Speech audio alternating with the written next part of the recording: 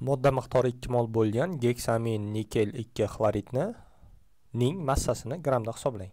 E, moddani formulasini yozolmagan bo'lishlaringiz mumkin. Shu uchun shuni yozib beraman.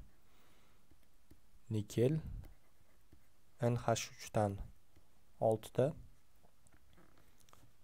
katta qavsga olamiz. Xlor 2 mana shu geksa amin mana geksamin degani 6 ta nh3 degani nikel mana markaziy atom aytilyapti. E, va undan keyin tashqi sfera aytilyapti. Xlorid 2 xlorid degandan bildik. Nikel 2 valentli 2 valentli bo'lganligi uchun ammiakni zaryadi 0 chunki bu e, modda murakkab modda. E, moddalarning oksidlanish darajalari yig'indisi nolga teng bo'ladi. Nikelni valentligi ikki metall bo'lganligi uchun plyus ikki bo'ladi.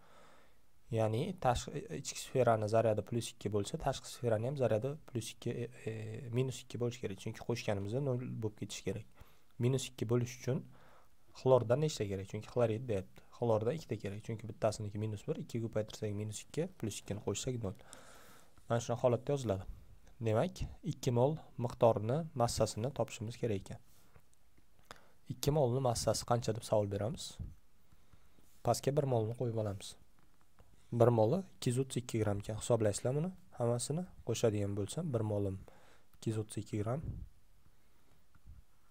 2 molim qancha deb topadigan bo'lsam 464 gramm kelib chiqadi. Javob bizada demak d javob bo'ladi.